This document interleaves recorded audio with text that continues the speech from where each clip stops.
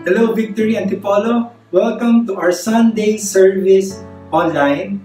I'm Gab. I'm one of your campus missionaries. We are Victory and we are one church in Metro Manila meeting and doing online services in different locations. And that is to honor God and make disciples, not only here in the Philippines, but to all nations. And at this time, I'd like to invite you wherever you are to join us in the time of singing praises and worship to our God. For as it says in the scriptures in Psalm 66, verses 1 to 2. Shout joyful praises to God, all the earth. Sing about the glory of His name.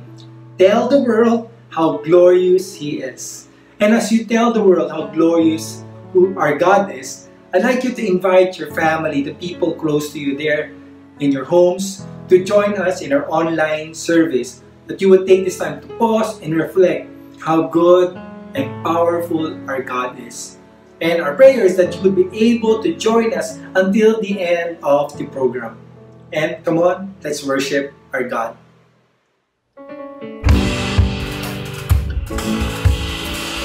Come on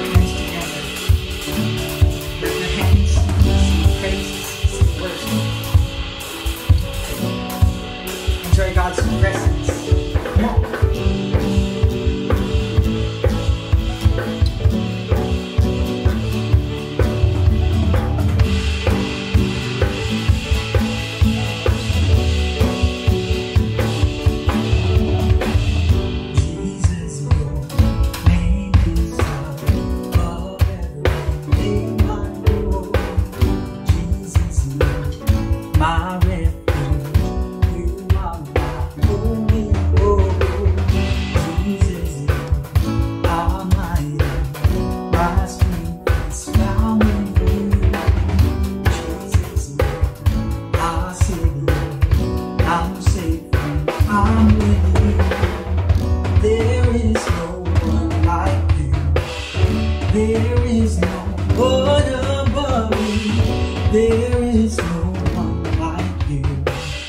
There is no one above you.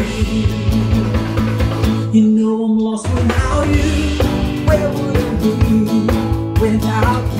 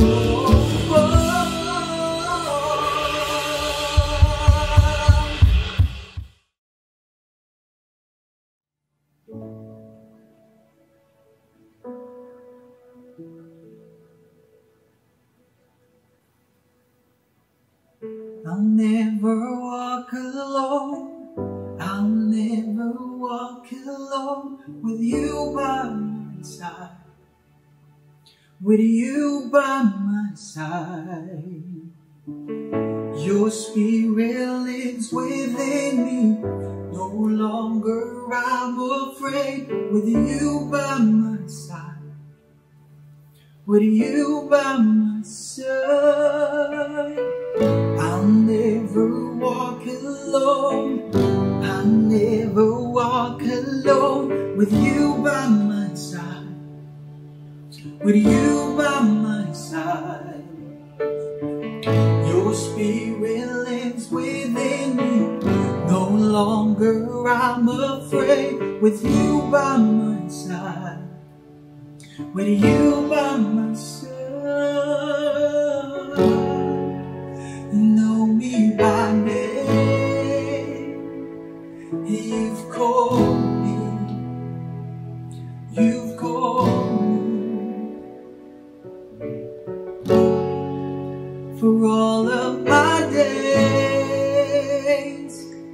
um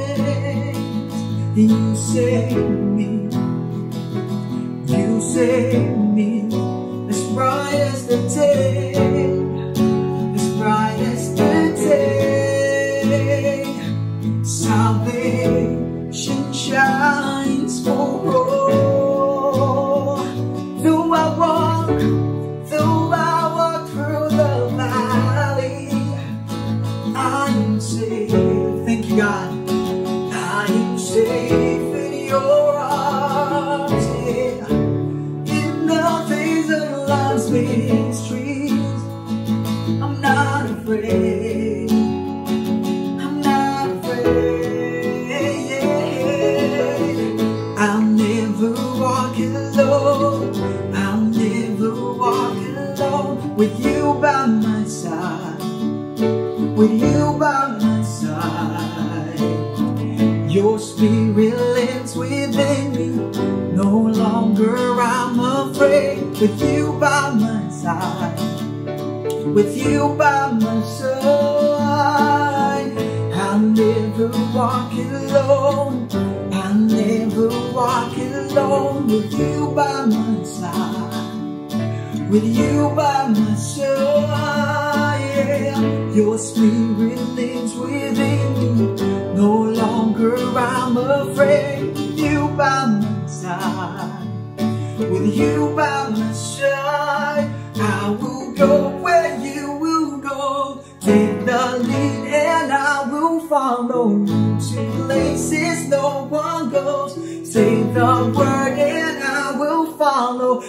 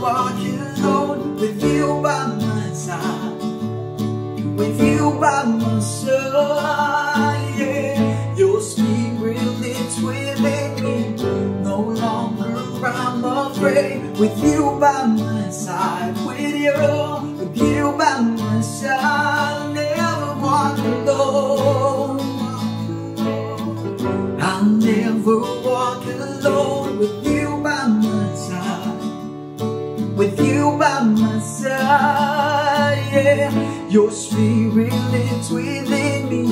No longer I'm afraid. With you by my side.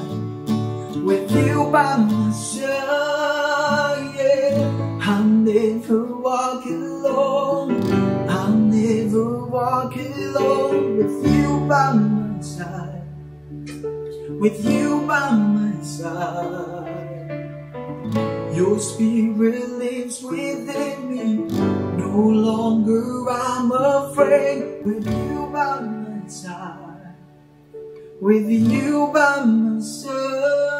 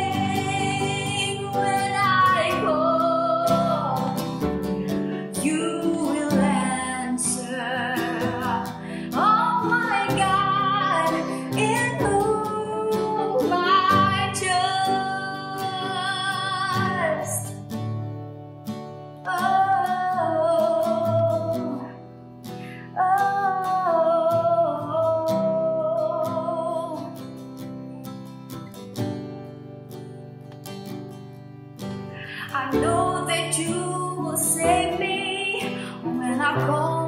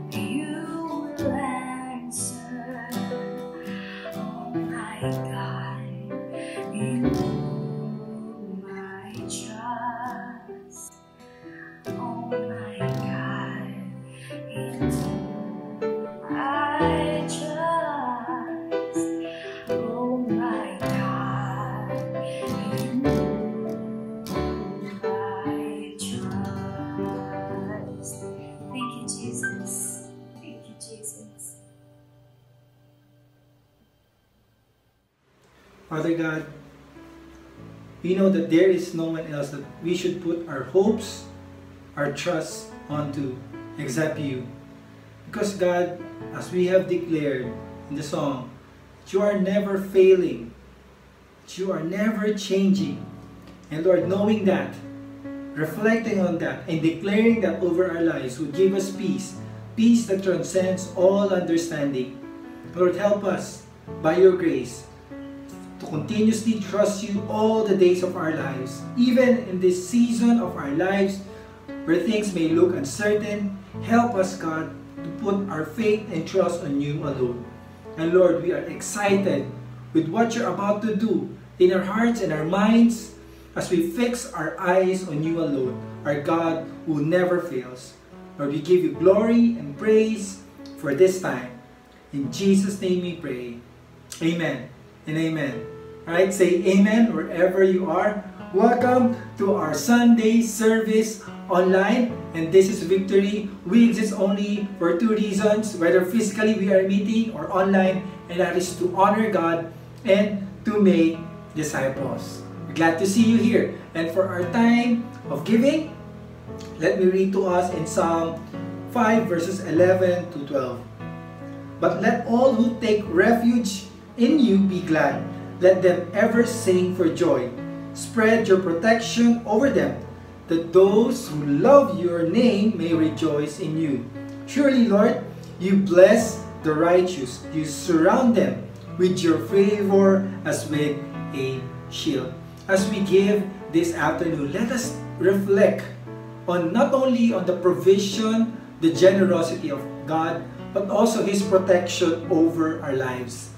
Why do we need to reflect on that? Kasi tayo, bago tayo magbigay, iniisip natin, paano na ako?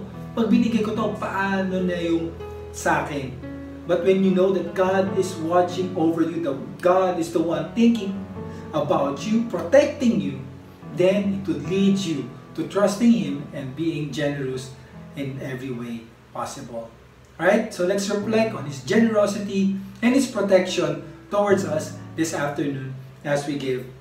Let us let me remind us that giving is an act of worship whether we do it physically or online. So as you give online today your tithes and offering, you may do, do this by visiting victory.org.ph slash give. Also, you can do that by scanning this QR code. You may also give your tithes and your offering through GCash. And we continuously encourage you to send your prayer requests, especially in this time where we feel um, worried about the future. We want you, we want to pray for you at this time. So you can send your prayer request to us by typing this link tiny.cc slash victory antipolo prayer. Again, we, let's continue to believe God for His provision, His protection over our lives. And enjoy the rest of the service.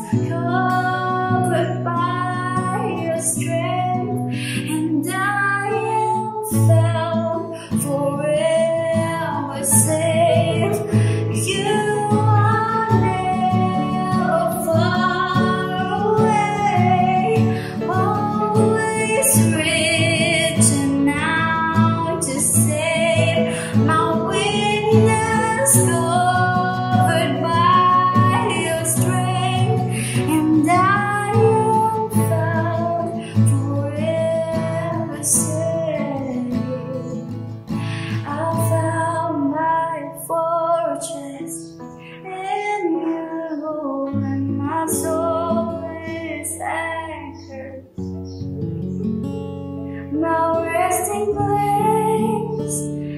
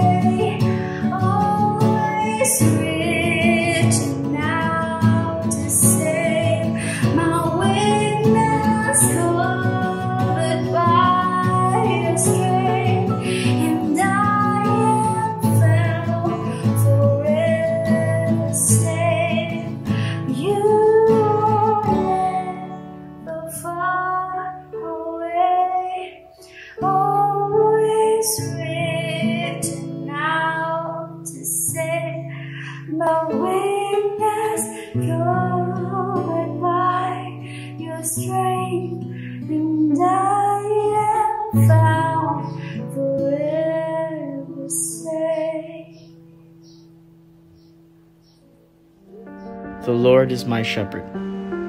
I shall not want. He makes me lie down in green pastures. He leads me beside still waters. He restores my soul. He leads me in paths of righteousness for his name's sake. Even though I walk through the valley of the shadow of death, I will fear no evil, for you are with me. Your rod and your staff, they comfort me. You prepare a table before me in the presence of my enemies. You anoint my head with oil, my cup overflows. Surely goodness and mercy shall follow me all the days of my life. and I shall dwell in the house of the Lord forever.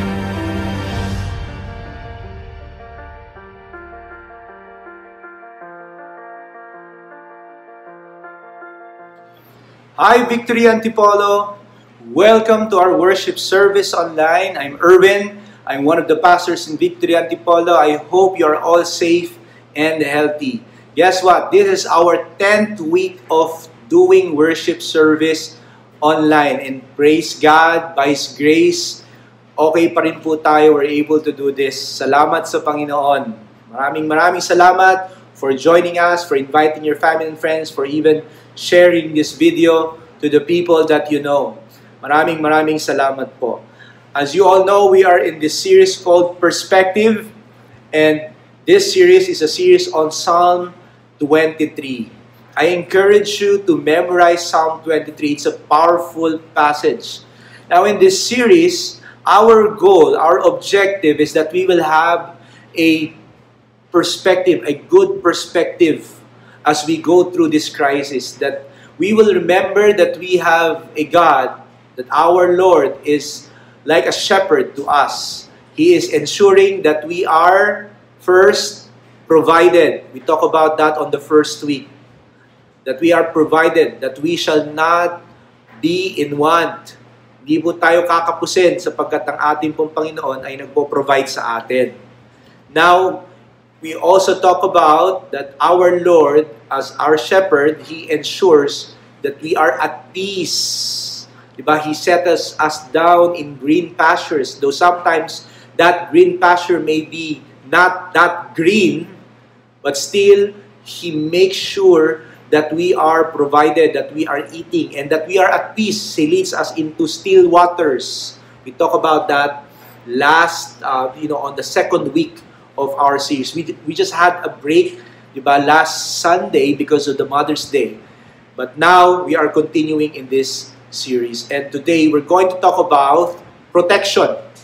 That our shepherd is ensuring that we are protected as we go through the valley of the shadow of death. That we should not fear any evil, any schemes of the enemy, because the Lord is comforting us in the midst of this valley.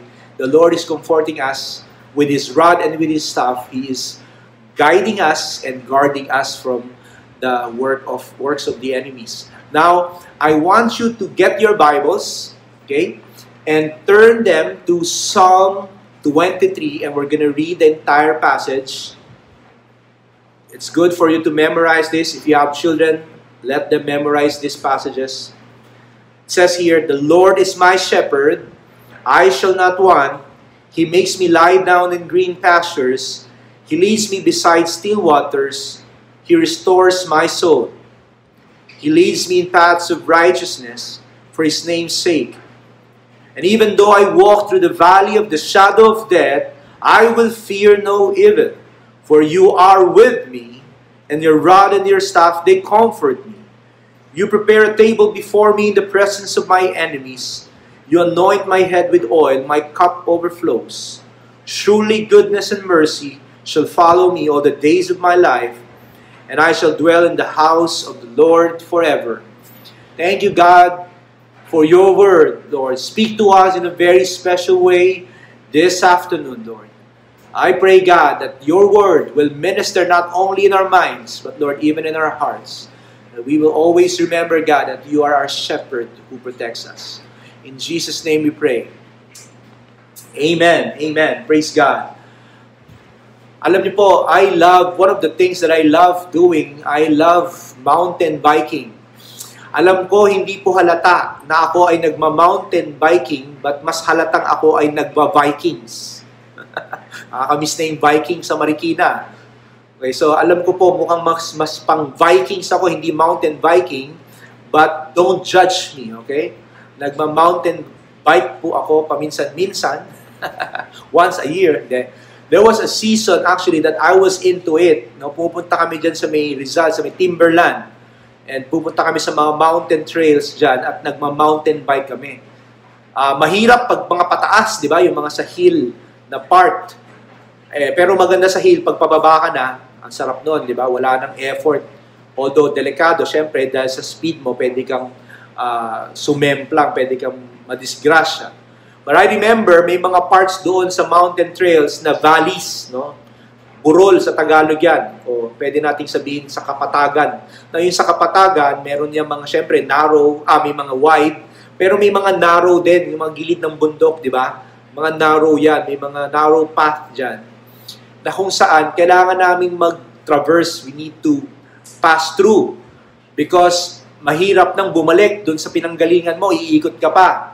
So that's why sometimes we had to pass through those narrow, steep, may bangin na dyan, na mga valleys. And because of peer pressure, nakakahiya, di ba? Na hindi ka magpapass through. Sabi nila, ay naku, napakaduwag naman ito. So by, because of peer pressure, sometimes, you know, I would try to pass through them. No? Talagang one time, nanginginig ako, grabe, oh, huwag ka na lang titingin.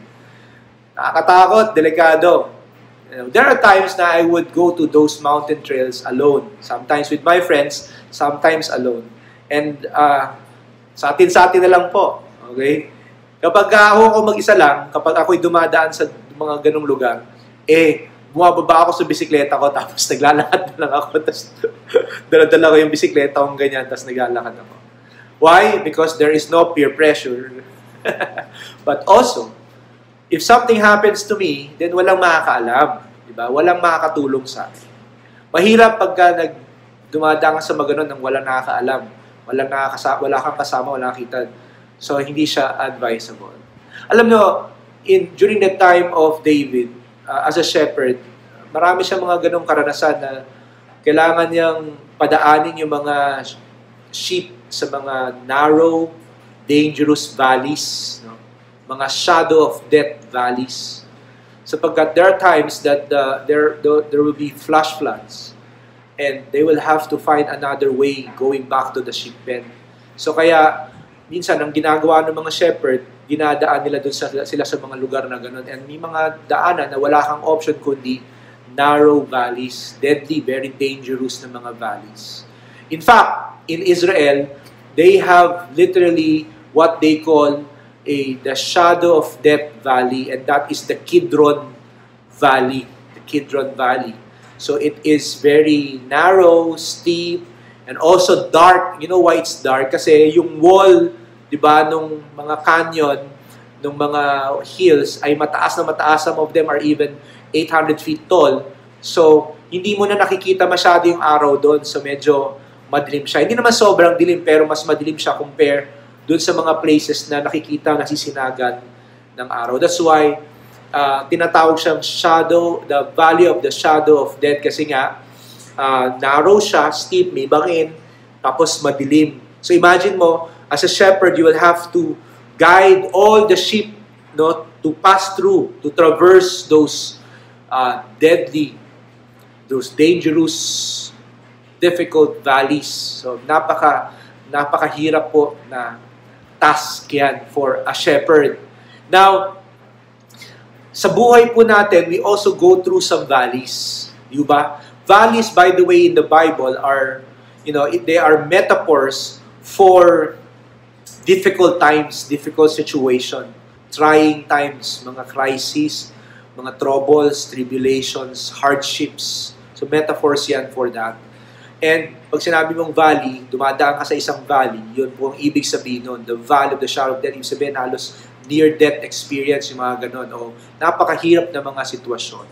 At sa buhay po natin ay dumadaan po tayo sa mga ganon. Tama po ba? Dumadaan po tayo. In fact, maybe some of you, you are in the middle of traversing those valleys. You are now in the middle of a particular valley. Uh, some of you are probably in a no work, no pay valley, di ba? I, my wife nga was telling me yung mga single mom na kanyang inaano, no, uh, nililid sa victory group niya. Nahihirapan yung iba. So please, if you know some single uh, mothers in our congregation, please do help them. I'm appealing sa inyo po. Tulungan po natin sila. Especially some of them have even lost their jobs or no pay, no work. Some of them, they are in a no pay, no work valley right now. Some of you, you're probably in a retrenchment valley. No, na-retrench ka, natanggal ka sa trabaho, or you're about to lose your job. Some of you, you're in a bankruptcy valley right now. No? If you're a businessman and you're not sure if you can still continue your business. Some of you, because of these things, you are in an anxiety valley. Mas ma- grabe yung anxiety mo ngayon lately. Some of you, you're even in a uh, relational conflict valley. Diba? Nag-aaway kayo ng madalas ng asawa mo. That's why nga last Saturday, nagkaroon tayo ng uh, uh, ano he said, she said okay, seminar. So, available yan sa ating Facebook page. Pwede nyo siyang panoorin kung if you missed it. So, we are in a relationship uh, conflict valley. And some of you, you're even in a sickness valley right now. May sakit ka, kailang nagkakagulo, kailangan hirap pumunta sa ospital ngayong ka pa nagkasakit. I know some people na meron po silang cancer. At imagine mo, bukod sa they are so vulnerable sa COVID-19, kailangan pa ho nilang pumunta ng ospital para sa kanilang uh, chemotherapy. So please do pray for them. Grabe po, ang dami po mga tao, they are really going through valleys in life. That's why if you are in a valley right now, Now, if you're valley right now, our prayers are with you. And I want you to listen to this message. But you know what? Valleys are normal. They're gonna happen to us. For sure. They're, they're gonna happen to us. Normal po ang valley. There is this um, Arabic proverb that says, All sunshine and no rain makes a desert. Kapag puro daw sunshine at walang ulan, eh gumagawa yan ng disyerto. That's why merong disyerto. Tama po yun.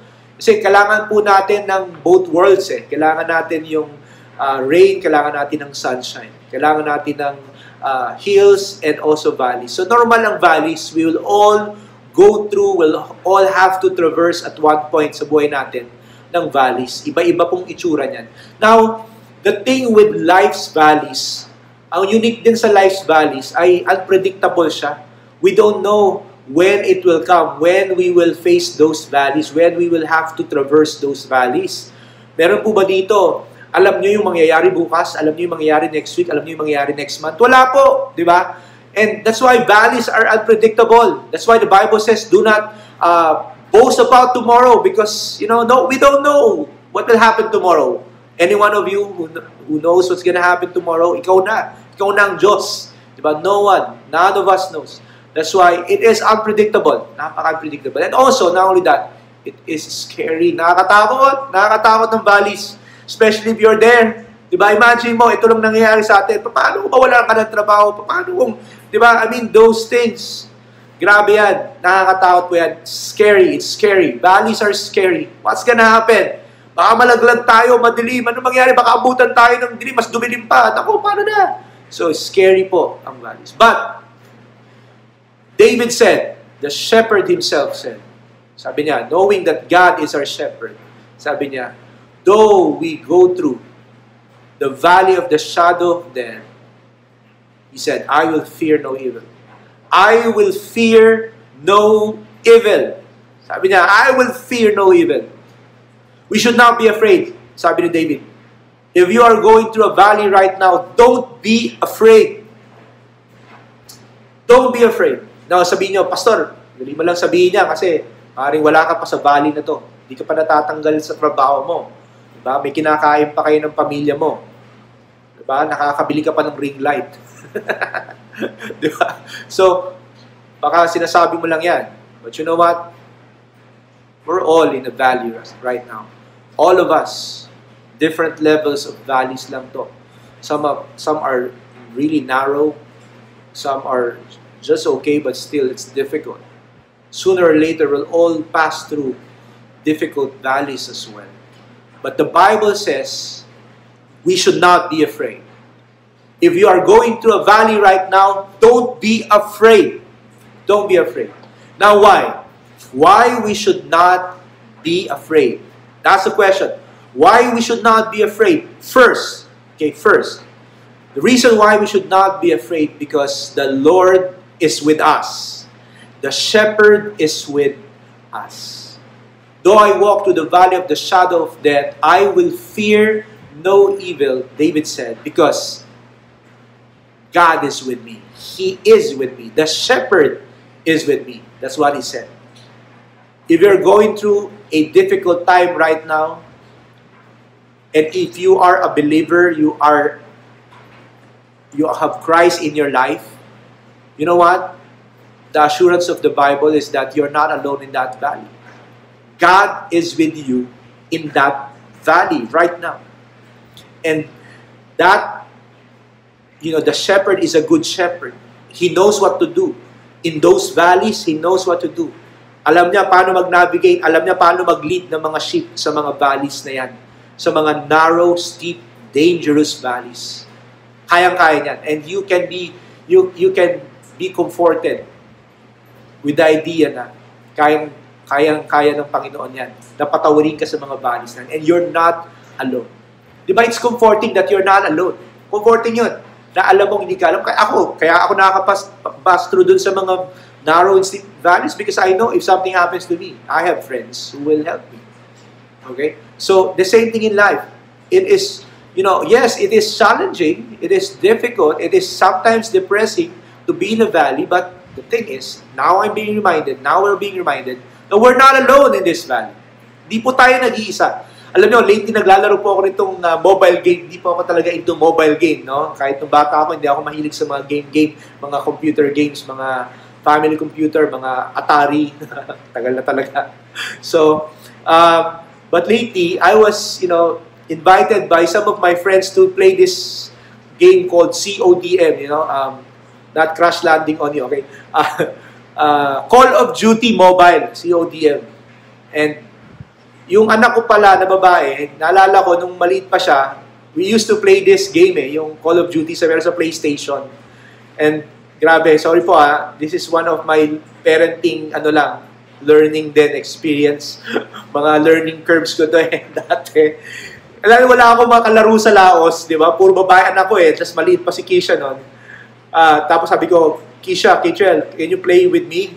so naglaro siya. Tapos sabi niya, one time naglalaro kami, it's a war game by the way, no?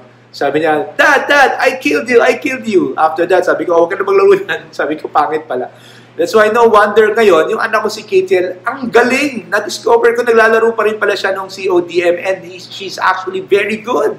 Yung mga kalaban niya, yung mga kasama namin dun sa aming group, mga puro lalaki, mga pamangking ko, mga kaibigan ko. Tapos siya yung babae, siya lang yung babae doon, naglalaro siya. And siya yung pinakamagaling sa amin actually. May isang magaling pa, yung uh, uh, kapatid nung friend namin. So pag silang dalawa kasama namin sa team, tapos we're teaming up and then we're uh, competing with others online, eh comfortable na comfortable kami, no? Dahil uh, sure na sure kami na sigurado mataas yung chance naming manalo. Most of the time actually nanalo kami pagkasama sila. Pero kapag hindi sila kasama, parang ang baba nung chance na, uh, na manalo kami. So, iba. Eh, ganun din po sa buhay. No? Kasama natin ang Panginoon. Hindi po tayo nag-iisa. I mean, I just want to encourage you. As we go through this valley, we're not alone. God is with us. That's why we can pass through this shadow of the, the valley of the shadow of death. Kasi hindi po tayo nag-iisa. Pangalawa, okay, the reason why we should not be afraid as we pass through this valley is that because God is comforting us, the Lord is comforting us in the midst of this valley, in the midst of us being afraid, worrying, na baka tayo mapahamak, malaglag sa rabin, di ba? Kainin ng mga wolves kasi doon mas vulnerable yung mga sheep eh. Di ba? Kasi makitid. So pag bumunta lang doon yun, yung mga sheep malalaglag na lang sa rabin.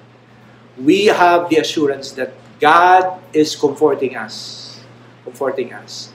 Though I walk through the valley of the shadow of death, I will fear no evil because God is with me.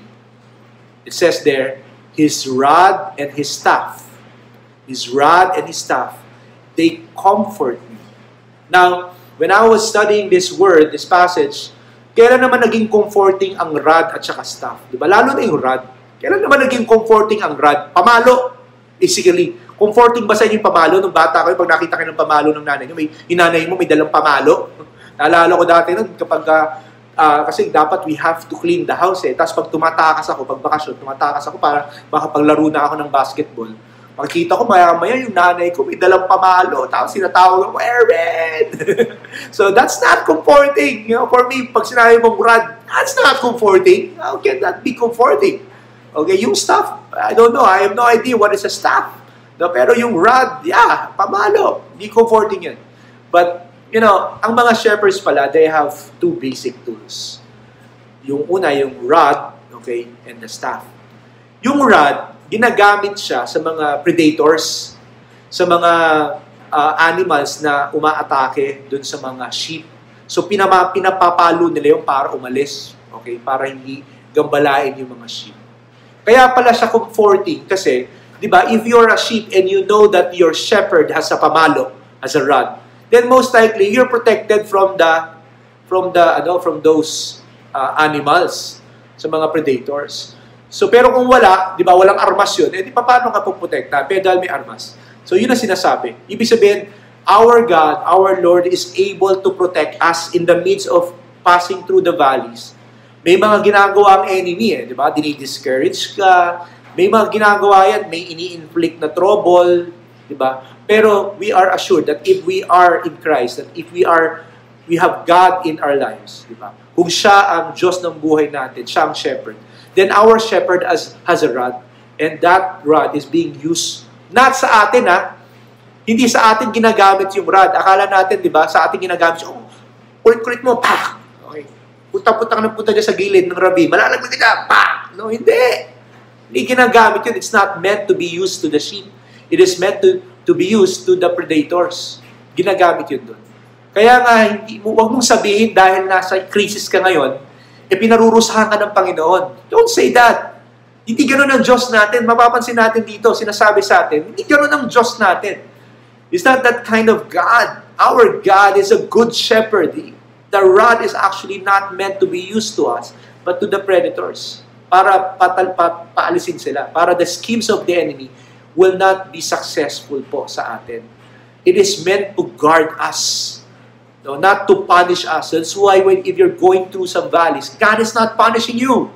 God is actually helping you. Yun yung staff. Yung staff naman, ang gamit niyan, kapag may nalaglag sa rabin o malalaglag, di ba may hook yun sa dulo? Hinuhook yun. Pinupull back pabalik dun sa linya. Grabe ang Panginoon. Akala natin pinapanish tayo pag nasa valley tayo, naghihirap tayo, nasa crisis tayo. Kasi siguro dahil marami akong ginagawang kasalanan kasi ano, I'm telling you, kung sa kasalanan mo lang, kung magiging mahigpit lamang ang Diyos ngayon, okay, patay na po tayong lahat. Kaya nga yung iba, di ba, nagre-reklamo, bakit how can a good God allow this virus to spread? Let me tell you this, kung tayo ay parurusahan lamang ng Diyos sa ating kasalanan, eh, yung nangyayari ngayon, wala pa yon.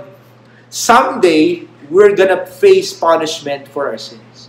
But for now, we see a God who is a shepherd to us, taking care of us. That's why now, if you have a chance, go to the shepherd. Because if you are with the shepherd, from now until he comes, you will be comforted. You're not gonna be punished. You're gonna be comforted instead. So your the rod will be used not to you, but to the predators. And the staff will be used to actually pull you back so that you will not fall into the ravine, so that you will go back, you will be back in the line. And you will be able to pass through the valley. Grabe ang Panginoon. You know one thing I like in this um, Psalm 23, in, in, in, the, in our passage in this series, we are being reminded once and for all that we are not the shepherd. We are not the shepherd of our life. But we are simply the sheep. Kuha nyo yun? Ano bang ginagawa ng sheep? Ang ginagawa ng sheep, maglakad. Di ba? If you're going through the valley, lahat ka. Okay, pagka nagugutom ka na, pakainin ka ulit. He will make you settle again in green pastures. Kain ka ulit. Tapos ano pang ginagawa? Iinom. He will, he will lead you to still waters. Iinom ka. Quietly, hinahanapan ka pa ng hindi maagos kasi yung mga sheep nga, di ba? Nadidistract sila pag may malakas na agos, may tunog na tubig. Grabe yung shepherd natin, ganun ka-caring. That's why God is not punishing us in this crisis. If we go, you're going through some valleys in life, God is not punishing. God is actually comforting you. He is trying to comfort us. He's making sure that na tayo matatawid natin yung valley yun ng safe. Nang tayo ay victorious. Ganun po. And that we are just a sheep. We're not the shepherd. And the shepherd is going to take care of us. Yun ang sinasabi sa atin dito sa Psalm 23. Ano pang ginagawa natin? Naglalakad, kumakain, uminom ng tubig, at nag, ah, ano, nag meme, di ba? Me, yun lang. Maybe prayer yun. yun lang lang natin gawin. We just have to pray. We just have to rely on God. That's why in the midst of the valley, you just have to remember this. You are not alone. And God is comforting you. He's comforting us by guiding us with His staff, pulling us back when we're falling into the ravine, and also with His rod, guarding us from the schemes of the enemy para hindi maging successful yung enemy sa mga plano ng enemy na i-destroy tayo. Kasi yung enemy, what the enemy would do during the valley, alam nyo, a-attack yan eh. Mga atake yan, tapos kukuha yan kung sino man yung mahina, hmm, kakainin yan. Di ba? The enemy would tell you in the midst of the valley, kita mo na, mag-isa ka lang. Mag-isa ka na lang. Wala kang kasama. Iniwanan ka ng Diyos mo. Diyos, Diyos ka. Wala kang trabaho. Anong, anong ginakain mo ngayon? Wala ka. But you know what? We should just listen to the shepherd, to the guidance of the shepherd. Let's allow the shepherd to do his job. Let's just pray to God. And God, the shepherd, will definitely protect us from the enemies. So God is with us. That's why we should not be afraid. The Lord is with us. And also, the Lord is comforting us in the midst of crossing the valley, these dangerous valleys, deadly valleys, the valley of the shadow of death. God is comforting us with His rod and with His staff. With His rod guarding us from the predators, and with His staff pulling us back when we are falling into the ravine, so that we will be able to pass through the dangerous valleys. Now last, the reason why we should not be afraid, God is with us, God is comforting us, and also because our God, our Lord, is the Lord of the valleys. He's not only the shepherd of the valleys, but He is the Lord of the valleys. You know, in the Old Testament, si Ahab, King Ahab, during his, the time of King Ahab, there were 32 nations na nag-alay, nag, uh, nag-join together to fight Israel. Now, because God's favor was with Israel, so God gave them a uh, victory. Binigyan sila ng victory. Naging, especially dun sa unang battle nila. So, nagkaroon, nagkaroon ng battle, tapos, they became victorious. God gave them victory. Now, sabi ng mga Syrian generals, nag-meeting sila after the first battle, natalo sila. 32 nations sila, they joined together, tinalo sila ng Israel, eh kukunti lang. Kasi nga, dahil sa favor ng Panginoon, no, binigyan sila ng favor. So ngayon, nag-gather sila, they had a meeting. In 1 Kings chapter 20, verse 23, sabi doon, And the servants of the king of Syria said to him, Their gods are gods of the hills, and so they were stronger than we. But let us fight against them in the plain, and surely we shall be stronger than they. Sabi nila, eh, kaya naman nanalo yung mga yan kasi yung God nila, God of the hills. Ganun yung is nila eh. Sabi nila, God, kasi, kasi yung powerful yung God nila, God of the hills. Subukan natin. Let's fight them in the plain, sa valley. Tingnan natin kung manalo yan sa atin. And when God heard it, okay, aha, oh, God of the hills lang pala ako ha. Okay, I will show you now that I'm not just the God of the hills, but I'm the God of the plain, of the valley. Sabi niya doon in verse 28, And a man of God came near and said to the king of Israel, Thus says the Lord, because the Syrians have said, The Lord is a God of the hills, but he is not a God of the valleys. Therefore I will give all this great multitude into your hand, and you shall know that I am the Lord. Our Lord is the Lord not only of the hills, but also of the valleys. Even we go through some tough times, our Lord is the Lord of the valleys. He is in control. He He is in control of every situation. Kahit na, kahit na ano pang mangyari sa atin, kapag tayo ay nasa Panginoon at ang ating Panginoon ay Lord of the Valleys, we're gonna be okay. Kahit ano pang valley yan. Anong klase mamang valley yan. You know, do you know Rabbi Zacharias? Rabbi Zacharias, he's a man of God, a minister, especially he's known uh, when it comes to apologetics ministry. Yung apologetics ministry, these are the people who are uh, good in articulating our faith, in explaining, defending our faith dun sa mga nag inquire sa mga taong nagcha-challenge ng ating faith. In fact, he pioneered a ministry on this and it was very successful. It's very successful until, until now actually. But recently, all of a sudden, hindi mo, hindi mo na nakikita masyado si Rabbi Zacharias until last week, they showed this picture on on social media and sabi nung anak niya na may cancer nga yung dad nila at uh, now inuwi na sa bahay and just waiting for his time. Si Rabbi Zacharias, ang galing-galing niyan magpaliwanag tungkol sa Diyos ng mga sitwasyon na katulad niya.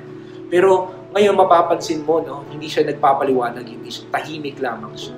Maybe some of the critics ni Rabbi Zacharias, yung mga atheists, yung mga hindi naniniwala sa Diyos, maybe they're saying, look, see, kita mo na, wala talagang Diyos. Tingnan mo, pinabayaan ka ng Diyos mo. Pinabayaan ka ng Diyos mo dyan sa valley, dyan sa sickness valley mo. In fact, you're now in a death valley. Maybe they're saying that. I hope not. Maybe some of them.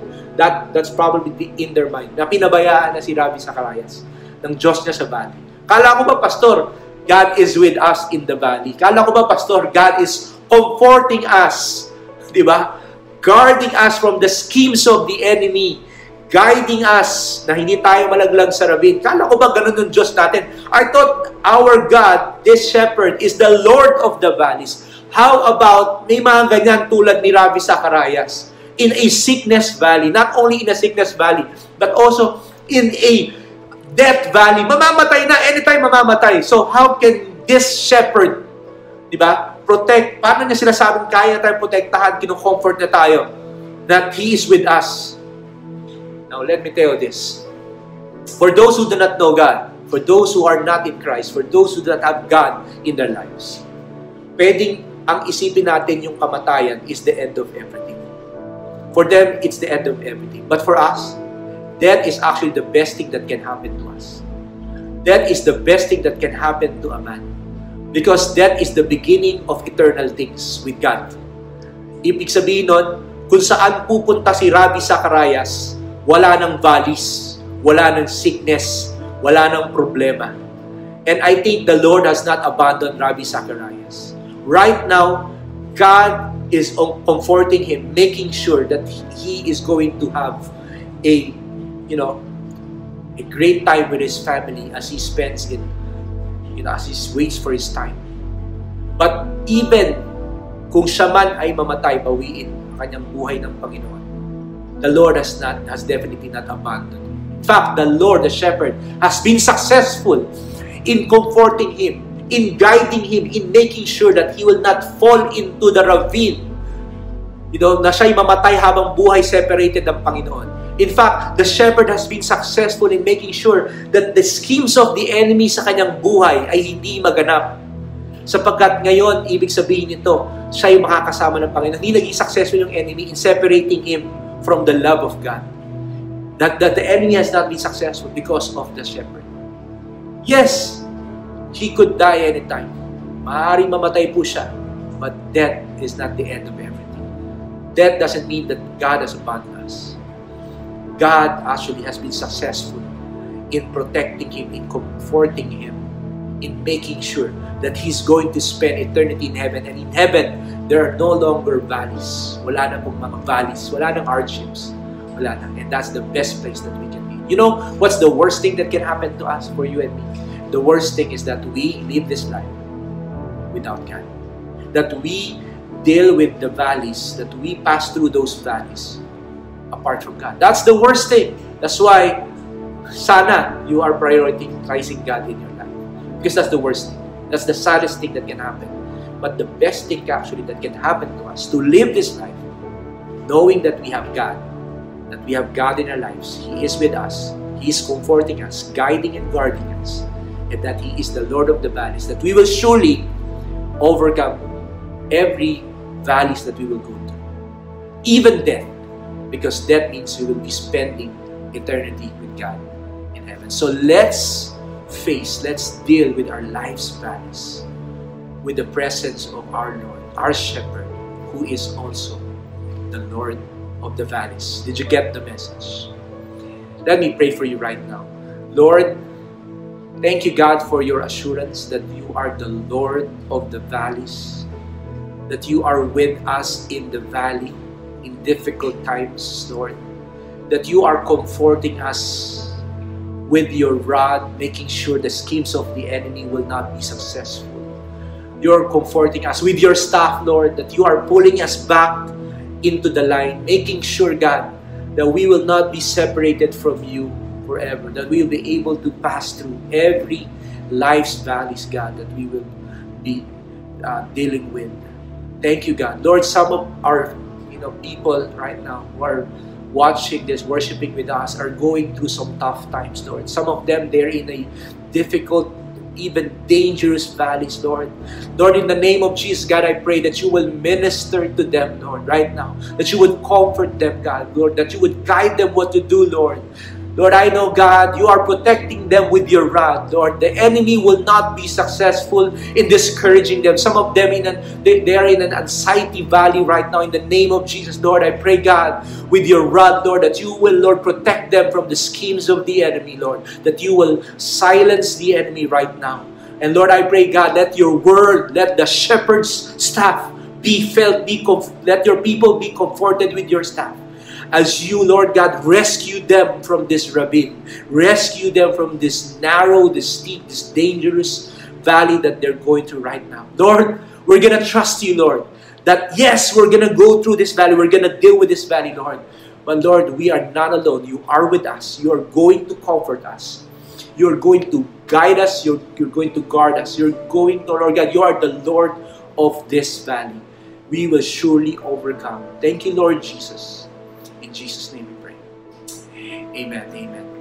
Maybe some of you, you are, you know in your heart, you know in your heart that the Lord is not yet the shepherd of your life. And this is the best time to recognize Him as your shepherd.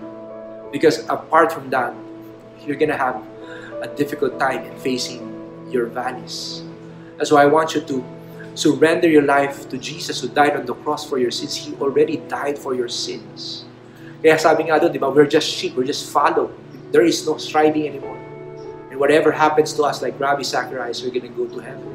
Not because of our goodness, not because of the things that we can do or we do to God, but because of what Jesus did on the cross for you. And if you are that person, I want you to, I want you to pray this prayer with me. If you want to surrender your life to Jesus, make Him the shepherd, the Lord of your life, and just follow Him. I want you to pray this prayer with me. That can happen by praying. Bow your heads right now, and I want you to pray this prayer with me. Lord Jesus, thank you for dying on the cross for my sins. Forgive me of my sins. I am now repenting from all my sins. And Lord, I am, Lord, recognizing you as my Lord and Savior, as my shepherd. Take control of my life, Lord. Let me just obey you and follow your guidance. Lord, protect me from the schemes of the enemy to steal me, kill me, and destroy me. Bring me away from you, Lord. Lord, I pray, God, I will be protected forever. So, Lord, I receive, Lord God, your the life, the new life, the salvation that you're giving me, that you accomplish in the cross. And Lord, from now on, let me follow you, let me honor you for the rest of my life. In Jesus' name, I pray. Amen. Amen. Praise God. If you made that prayer, if you receive Jesus as your Lord and Savior, we want you to do these two things. First, we want you to connect with God. Pray to God. Read the Bible. You can start in the book of Mark. And also you can download this one-to-one app. The one-to-one app will help you grow in your relationship with God and you walk with God. And if you want someone to help you explain the one-to-one, then you may contact the number on the screen. We would love to help you as well. You may also contact the person who invited you to watch this video, to watch this worship service online. Maraming maraming salamat po sa inyong lahat for joining us. Once again, thank you. Don't forget our worship services online, our services online. We have uh, morning devotions every Monday, Tuesday, and Saturday, 9 a.m. We have um, prayer and worship night every Thursday, okay, um, at 6 p.m. And also every Friday, our youth service at 6 p.m. And also Saturdays, every 4 p.m., our kids church online. And of course, every Sunday, 11 a.m. and 2 p.m. for our worship services. Maraming maraming salamat po. May the Lord bless you and keep you. May the Lord show His face shine upon you and be gracious unto you. And may the Lord lift up His countenance upon you and give you peace now and forevermore. Amen. God bless you. See you next Sunday.